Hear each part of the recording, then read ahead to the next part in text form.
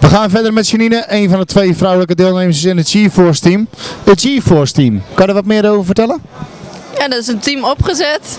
We Ik weet even niet hoeveel spelers. Maar het is, ja, het is heel fijn om teamverband te spelen. En eh, je worden goed gesponsord en geholpen. Ja, dat is hartstikke fijn. Het is hartstikke mooi dat eh Arlene zich natuurlijk naam aan verbonden heeft. Van, eh, ja, wat is, eh, is Arlene een voorbeeld voor je? Ja, tuurlijk. Ze- hoe ze met ons omgaat. En dat is dat alleen al. En wat ze nog voor ons doet. Ja, ze doet heel veel. Ja, ik eh, volg het allemaal op de voet. Ik ben ook een groot voorstander van eh, deze toernooi en dat is hartstikke mooi. Hoe gaat het vandaag trouwens met het toernooi? Ik heb de eerste verloren. Ja, dat kan gebeuren. Maar speel je poeltjes of knock-out? Ja, pool. Eerst pool. Dus je hebt nog kans om door te gaan. Ik moet er nog twee spelen, dus wie weet. Alle kansen dus nog. Nou, deze week heeft eh NDB bekendgemaakt dat er ook een selectie bekendgemaakt wordt voor het eh G-Darts. Wat vind je daarvan? Ja, mooie kans. Ja, ik ben benieuwd wie. Nou ja, het is nog een lange weg te gaan. In ieder geval eh, succes. Ja, dankjewel. We gaan verder hier zo in Almere bij de eerste NB-ranking van het seizoen 2017-2018. Hiernaast me zit Jeroen Bremer. Hoe gaat het eigenlijk vandaag in het toernooi? Nu op dit moment gaat het best wel goed. Ik heb er nu één gewonnen met 2-0 en één verloren met 2-1. En ja, ik moet de volgende winnen om eh, door te gaan naar de kwartfinale. Nou ja, ik eh, heb daar alle vertrouwen in en ik denk eh, jezelf nog meer. Ik zie dat je een heel mooi shirt aan hebt van het eh, G-Force team van Arlene de Graaf. Kan je daar wat meer over vertellen?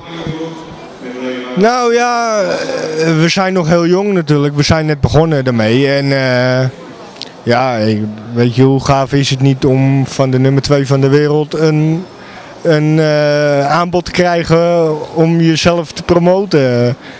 En het is natuurlijk heel gaaf dat je, hoe heet het?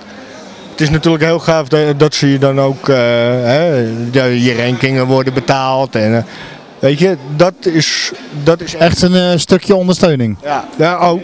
Maar het is ook een stukje erkenning naar de gehandicapten toe. Weet je, normaal gesproken, eh, dat weet jij zelf ook wel, acht rankingtoernooien, dat is 5 euro, misschien soms 10 euro. Weet je, maar dan zit je op 40 euro. En dan moet je ook nog je benodigdheden erbij. Dus je zit zo op 100, 115 euro of zo. Ja, het is eten, drinken, inzetgeld, vervoer. Ja, iedereen heeft ermee te maken. Ja.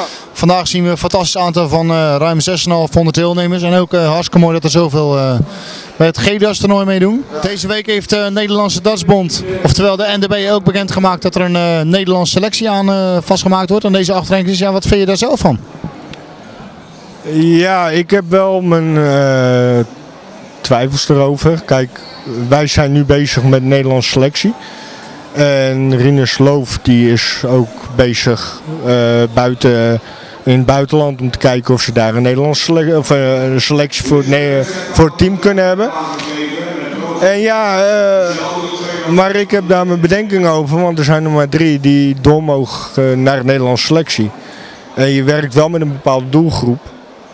En die kunnen ook zomaar in één keer of ziek worden of weet je, dat kan ook als jij bijvoorbeeld in Wales zit bijvoorbeeld en je hebt daar een toernooi met je Nederlands team en je bent daar met drie en op een dag dat je moet gooien kan er een ziek worden dan ben je met deze doelgroep niet zo snel om er eentje in te laten vliegen.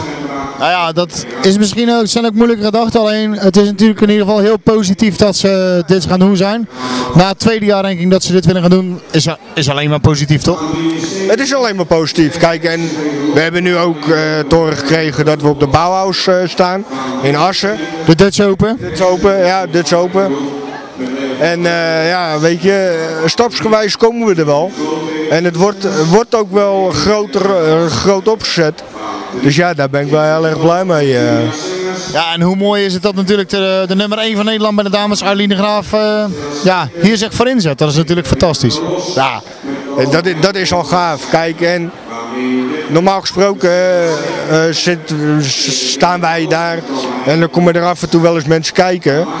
Maar de eerste ranking dat wij hadden, voelde ik al wel dat Eileen zich betrokken voelde bij ons. En dat moeten we hebben. Kijk, iemand die gewoon ons promoot, ons naar voren schuift van hé, wij zijn er niet alleen, maar dat zijn ook nog gehandicapten die het spelletje ook leuk vinden. En hè, ga ermee door. En, en de B, doe er ook wat mee. Nou ja, volgens mij is eh, er een hele mooie eerste stap gezet. En eh, ik wens je vandaag eh, voor de rest heel veel succes voor vandaag. Dankjewel. Jij ook.